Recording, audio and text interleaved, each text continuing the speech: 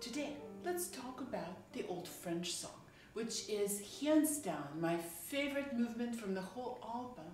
I remember playing it when I was, what, six or seven. I fell in love with it then. I fell in love with the piano from playing this song, and I've never fallen out of love. There are few movements that are just this beautiful. All that said, it is also one of the easier pieces to play. Um, there is a great deal of repetition, and um, the whole piece can pretty much be taught by rote. There are, of course, complications, as there always are. First of all, there is the interesting texture with three parts. The melody in the right hand, and in the left hand, we have the bourdon or the held bass, which functions as a drone, and we have a secondary voice.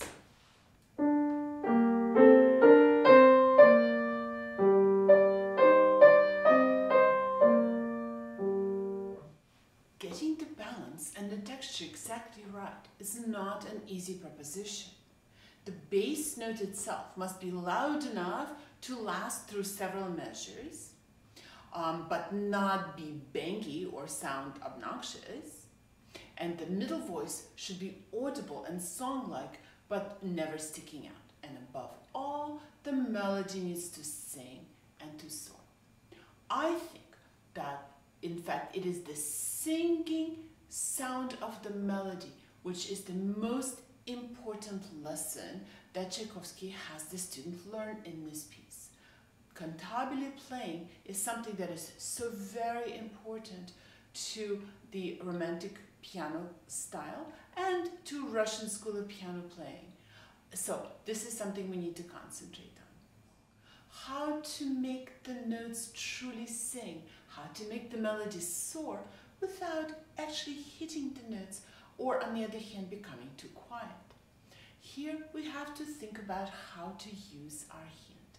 We teach our students to round out nicely and play on the fingertips.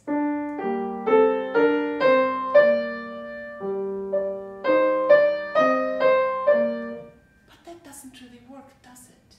We get a sound that is brittle and that doesn't sing.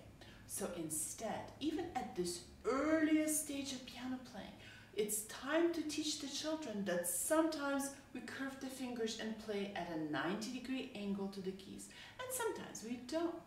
What works much better when we have a flowing melody is to use a great deal more of the finger, the entire cushy part perhaps, and have the fingers considerably flatter. Not that, of course, but applying much more of the fingertip to the key. When that happens, we can press the key rather than hit it, creating a slower and more beautiful attack. But immediately, we have a problem. When the fingers are rounded, they're all pretty much equal lengths. When the fingers are flatter, suddenly the lengths are quite different and we have to compensate for the difference in lengths by turning our wrist towards the shorter fingers. So we have something like this.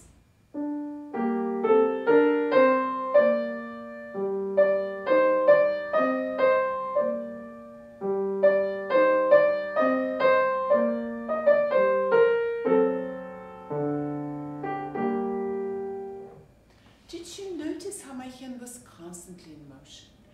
You also notice that I did not need to add a great deal in terms of phrasing or dynamics because my hand did absolutely all of the work.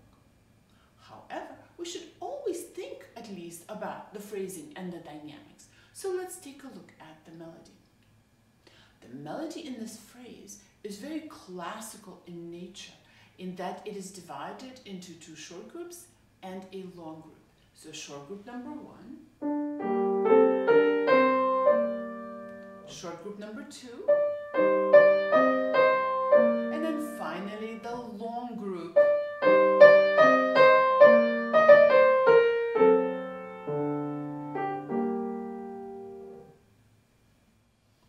Once we see what the phrase is made of, we can now design its structure intelligently.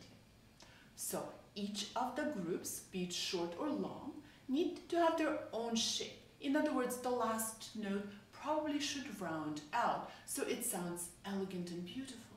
But between the three groups, there are very well defined relationships. So the first group is soft, then the second group is more excited, higher, and a little bit louder, and the third group is the loudest, and then it diminuendos down. I think of this as first group is baby bear, then the second group is mama bear, and the third group is papa bear, which then comes down all the way back down to baby, and suddenly the structure is clear. And then there is this little middle section which stops sounding like a song and sounds a great deal more like a dance.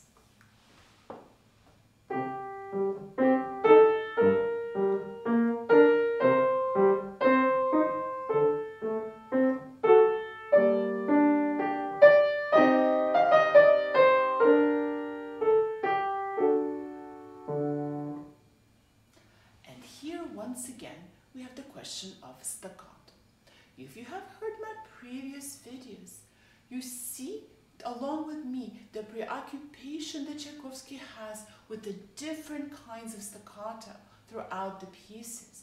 Generally, we have talked a lot about how to create short, sharp staccato, but here we have something completely different. This is the first time, if we follow the order of the album, that we arrive at a staccato which should probably be produced with the wrist. I think this staccato imitates the plucking of a string on a lute or a guitar. So doing the short business doesn't work at all. So this is where we are going to be active with the wrist and much less active with the finger.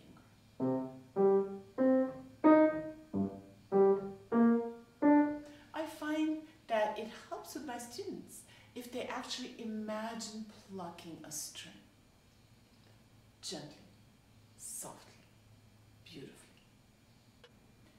The overall structure is also important. We have our beautiful phrase here first, then it is repeated again, then we have a contrasting section, and finally the first phrase comes back. This is called bar form actually, if anybody's interested, and a lot of um, popular songs are written in this form. Um, so Tchaikovsky invents popular music? Who knows? We have a lot of options in a structure like this.